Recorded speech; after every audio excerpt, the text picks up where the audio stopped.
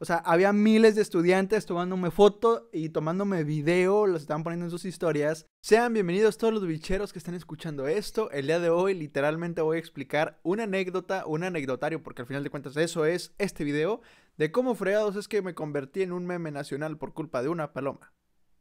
Así que vamos al video.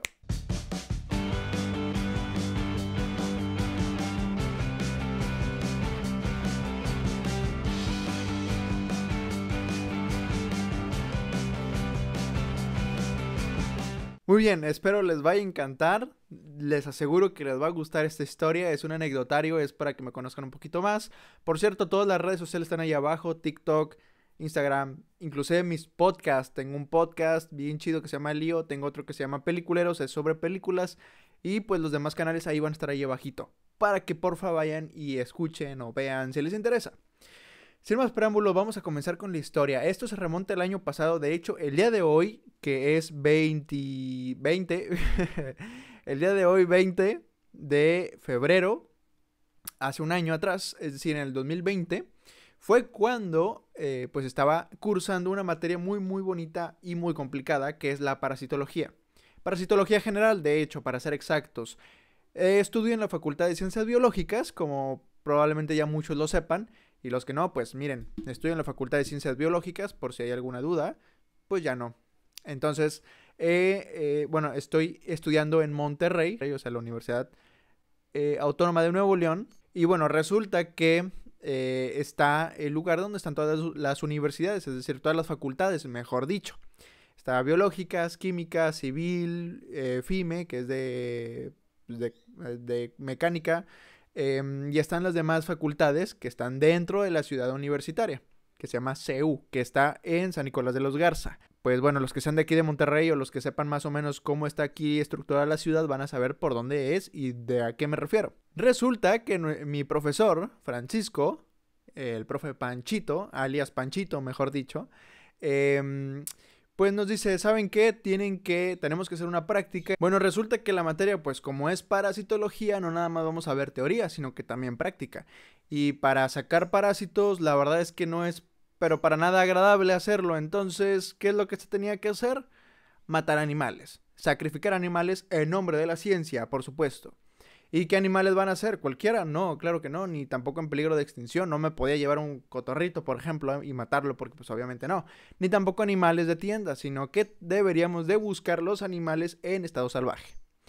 Así como peces, langostinos, palomas, aves silvestres que no estén en peligro de extinción y pues obviamente no se puede llevar ni perros ni gatos porque pues hashtag animalistas, ¿no? No estoy diciendo que el profe ni mis compañeros sean animalistas, que bueno, como no somos biólogos, muchos sí son animalistas y caen en este pensamiento de cuidar perritos y gatitos a capa y espada sin saber lo que conlleva tenerlos en un lugar ahí eh, pues en, en el monte, ¿no? Obviamente no estamos hablando de eso, ni me quiero meter en polémicas aún, pero estoy contando la historia. Entonces sí había compañeros que son así medio animalistas, antizoos, antizoológicos, ¿saben? Eh, como que todavía no están empapados en el tema porque pues no somos biólogos, no estamos estudiando biología. Lo que mis compañeros biólogos sí saben, pero pues mis compañeros químicos, bacteriólogos, parasitólogos, pues no. Entonces, eh, pues era en equipo varios se fueron, cazaron urracas, que eran, fueron muy difíciles, o sea que no, nadie llegó, nadie llevó una urraca, o sea, un cuervo, pero de, otro, de otro género creo es. Pero todos llevaron palomas, porque, ah, y gallinas, que de hecho yo también llevé gallinas, ahorita les cuento más. Resulta que eh, está la ciudad universitaria y hasta el final, al otro lado, está una facultad que es la Facultad de Organización Deportiva, que se llama FOD pues por sus siglas FOD, que es Facultad de Organización Deportiva, ¿no? Ahí tengo amigos pues que están estudiando y todo chido. Resulta que hay áreas grandes, bonitas, y pues hay cafeterías en cada una de las facultades. Yo estaba con mi amiga Mónica, con mi amigo Ramón, que probablemente en algún video lo vayan a ver o ya lo habrán visto en otros canales, en mi canal de Planden, por ejemplo, creo que ahí sale una vez Ramón y si no, en un futuro voy a subir un video cuando fuimos a buscar parásitos, que creo que ese video no lo he subido. Entonces, si les gusta, pues, no sé, si les gustaría que lo subiera, pues ahí me lo dicen, ¿no? Estábamos buscando parásitos, pero no encontramos nada. Bueno, me fui con Ramón y me fui con Mónica, mis compañeros de equipo.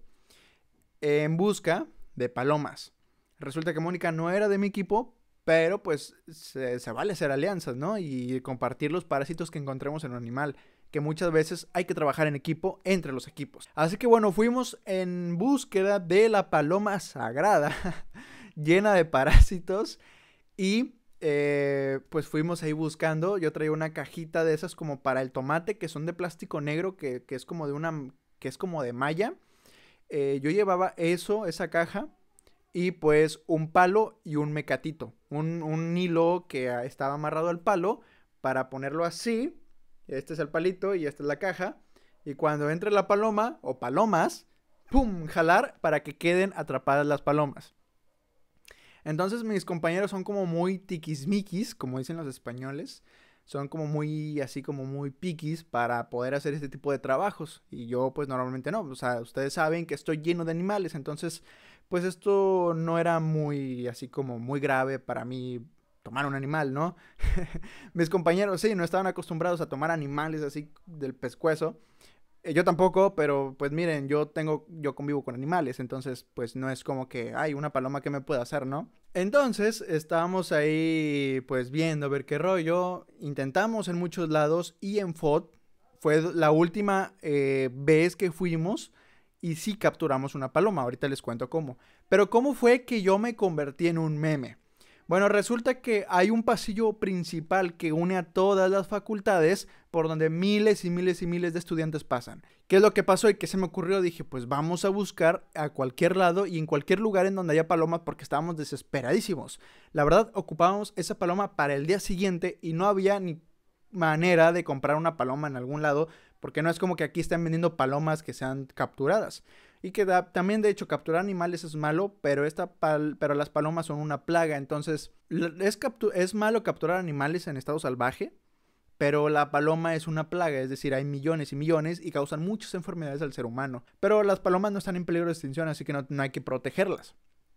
Lastimosamente me enteré que ha habido arrestos por haber agarrado palomas y de hecho hace poquito salió un arresto de unos chavos que capturaron como 50 palomas y las estaban vendiendo en un restaurante de comida china. Esto no es mentira, esto sí fue una noticia literal de hace dos días y todos mis amigos me estaban etiqueta y etiqueta y etiqueta en la noticia porque me... ¿Se acuerdan de que yo me convertí en un meme? Resulta que hay una facultad que se llama arquitectura, que pues es donde pues estudian los de arquitectura, ¿no? y cerquitas pues está trabajo social y lo demás. Lo pueden checar en Google Maps, o sea, literal, pueden ir Monterrey, Universidad Autónoma de Nuevo León, eh, ciudad universitaria, en la que está ahí por San Nicolás, y les va a aparecer todo el croquis. Biológicas está aquí y arquitectura está hasta acá. Pues ahí pasan muchas personas, ahí también hay banquitas, hay novios, hay abracaditos siempre todo el tiempo. Y dije, ¿por qué no? Intentar agarrar una de las palomas que están aquí, pues comiendo de lo que se les cae a los chavos que están comiendo acá. Entonces les dije a mis compañeros, les dije, Ramón, Mónica, ¿qué les parece si nos instalamos aquí en este lugar? Porque también hay áreas verdes que lo único que de verde que tienen es los árboles que están porque el césped no hay, más bien no hay césped, es pura tierra. Entonces, eh, pues estábamos así, bien chidos. les dije, oigan, pues me quiero instalar aquí, vamos a atrapar, vamos a jugar suerte. Y me dijeron, va, pero nosotros no vamos a estar ahí eh, porque aquí hay muchas personas y nos pueden hacer memes o nos pueden decir algo. Entonces yo dije, miren, no se preocupen, yo me la fleto. Eh, a mí me gusta estar así como que, no ser el centro de atención como tal, pero me, me, da risa que los demás les dé risa lo que estoy haciendo yo. Entonces, eh, es como hacer stand-up, ¿no? Es como ser, no sé, Richu Farrell o, u otra persona que hace stand-up. Entonces, me gusta. Por lo tanto dije, vamos a darnos a la tarea de colocar las trampas y comenzar a pues jalarle el gatillo, ¿no? En pocas palabras, para que pues pueda atrapar a la paloma. Resulta que yo no me di cuenta de, porque yo estaba muy atento a las palomas. Mi compañera Mónica y, y, este Ramón estaban aventando migajas adentro de la caja, que es transparente, o sea, no es una caja así toda llena, sino que es transparente, o sea, pues ya les había dicho cómo es. Entonces estaban aventando y estaban así alejadillos y las palomas venían y estaban picoteando, picoteando y luego, pum, le jalaba y no. Y pum, le jalaba y tampoco. Así fácil unas 10 veces. Y no se podía, y no se podía, y no se podía. Entonces se fueron las palomas porque dijeron a la fregada, estos nos quieren capturar. Se fueron y nada más quedó una. Me acuerdo bien el suceso. Estaba la, el palito así y la caja de, de este lado a punto de capturarla. Y en eso yo no me había dado cuenta. Pero ahí habían literal, por todos lados parecía una función de, circo porque habían miles de personas. Y pues fue una, fue una maravilla completa porque al final de cuentas fui el centro de atención y fue un meme fácil por una semana completa y a nivel nacional. Es decir, muchas personas en páginas de foráneos van a poder encontrar mi meme ahí donde dice, cuando tu amigo el foráneo se le acaba el atún, pero se acuerda que hay palomas y gatos en, en FARC, o sea, en arquitectura. Facultad de Arquitectura, eso significa FARC. Em, entonces comenzaron a colocar mi meme, o sea, al principio nació en FARC porque pues apareció en arquitectura y luego se fue expandiendo a cada una de, de las páginas de memes de las facultades hasta llegar a todo México. Entonces, al final de cuentas, mi meme salió en todo México, que se lo voy a poner aquí. Ahí estoy yo. Tengo mi, mi fosfo, mi, mi este, inclusive mis tenis aquí los tengo por aquí colgados, no sé la verdad dónde están, pero tengo mi outfit. Entonces, eh, la verdad no sé por qué tengo que verificar que soy yo, pero sí era yo y mis compañeros pueden darse cuenta. De hecho, subí una historia a mi, a mi, pues, a mi Facebook en donde decía, miren, ya me lo estoy ahí atrapando. Bueno, resulta que estaba con el, con el hilo y estaba la paloma ahí. Entonces yo me le quedé viendo y ella como que a mí también. Entonces eh, la paloma se acercó, se acercó, se acercó y en eso, ¡fum! Le hago así y la paloma sale volando. Y todos, no, pero eran un montón de personas, un montón como no tienen una idea. Un montón de personas, fue una locura. Me estaba carcajada y estaba así de que, no, rayos, ¿por qué, Dios? Y todo el mundo estaba carcajadas, estaba aplaudiendo, inclusive aplaudieron. Eh, fue una locura. Después de eso dije, pues vámonos de aquí. Vámonos de aquí. Como la canción de Maverick. Bueno, ya, como sea. Y luego eh, nos fuimos a FOT. Y en FOT, sí, sí, por fin se pudo. Se pudo. Eh, fue una locura porque estaba la caja así. Y pues también el palo, ¿no? Pero estaba de bajadita, porque era una rampa donde pues podían irse los carros. Entonces, eh, yo estaba sentado, así ya súper cansado porque ya no podía. Imagínense todo el día intentando atrapar una paloma. Fue una locura, literal, antes de clases en la mañana y después de clases estábamos ahí intentando, eran las siete y media de la tarde y pudimos apenas atrapar a una maldita paloma. Resulta que les cuento cómo estuvo, cómo la atrapé. Estaba hacia abajo, como les había mencionado, y estaba ahí en medio, pues las migajas de pan que había comprado Mónica. Un pan en 10 pesos. Era un bolillo. Entonces, eh, las palomas estaban ahí. Y luego, tomo valor, agarro todas mis fuerzas, ¡pum! Le hice así cayó y atrapó a la paloma. Por fin, gracias a Dios, gracias al cielo, pude atrapar una paloma. y tengo esta experiencia bien, bien interesante y bien chistosa. Porque sí la atrapé. Y luego me dijo esta Mónica y esta Ramón, ¿y cómo la llevamos? Dije, miren, allá hay un vaso como de una rusa, o sea, de, un, un, vaso desechable de litro.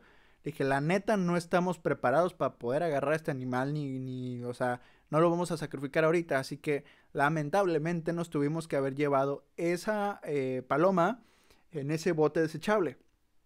Sí se escucha muy acá, pero pues al final de cuentas, como les digo, no estábamos ni preparados, era necesario para la práctica y aparte, eh, lamentablemente no la podíamos sacrificar a la de ya, porque pues el día de, ni modo de congelarla y para el día de mañana traerla descongelada, pues obviamente no, los parásitos se van a morir y los ocupábamos lo más fresco posible. Entonces, eh, lo que hicimos fue, dame el vaso, hagan de cuenta que este papel de rollo, este papel higiénico es el vaso. Está tapado por aquí, ¿no? Está tapado por aquí y por aquí se toma, ¿no? Por aquí haces el para adentro. Entonces yo quité esto, agarré la paloma, la inserté para que saliera la cara de este lado y por aquí, aquí le, le salían las patas, y la cola, obviamente, pusimos eh, lo que es eh, cinta, cinta canela, ¿sí? Como la café donde tú puedes escribir, no sé cómo se llama, la verdad.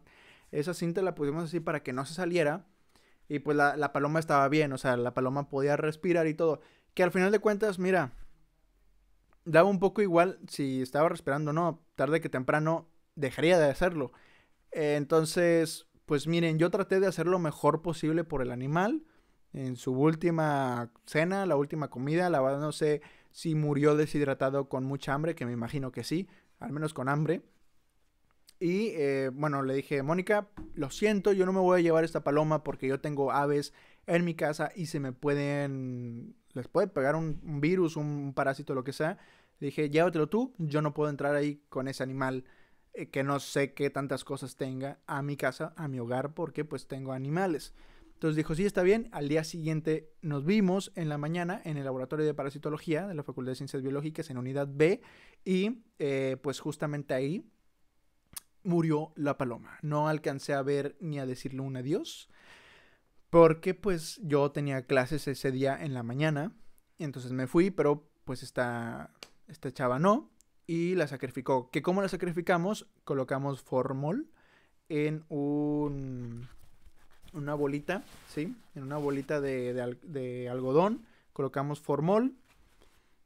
Metemos en una caja al animal con el formol y luego lo ponemos en una bolsa, la amarramos la bolsa sin ningún agujero y entonces el animal se desmaya, tiene una muerte neuronal y ahí es cuando pues ya simplemente ya, o sea, no murió con eh, adolorido, por ejemplo, que si le hubiéramos tronado la, pues, el cuello, pues sí le hubiera dolido. Aunque depende, o sea, hay veces que se cuestiona esto porque si le truenan las vértebras es menos dolor, al parecer, porque pues si está inhalando esto, si como que le está doliendo, de hecho, revolotean bastante los animales o mm, corren mucho los animales cuando los está sacrificando de esta manera. Así nos lo enseñaron, la verdad no sé qué tan viable sea, en veterinaria hacen cosas distintas. En la facultad de veterinaria eh, matan a los animales con, un, pues, con una inyección, porque es la manera más fácil de hacerlo, pero nosotros no tenemos esos reactivos, no tenemos ese conocimiento porque no estamos estudiando veterinaria, simplemente lo que buscamos son los parásitos. Y bueno, al final de cuentas, si quieren saber si encontramos parásitos, no, no encontramos ni un solo parásito de esa paloma. Lamentablemente, hay palomas que tienen muchas y hay palomas que tienen muy pocos parásitos y uno nunca sabe porque pues no se sabe. Sin embargo, pues así es como funciona el mundo estudiantil, el mundo de la ciencia, de la biología y pues bueno, de la parasitología.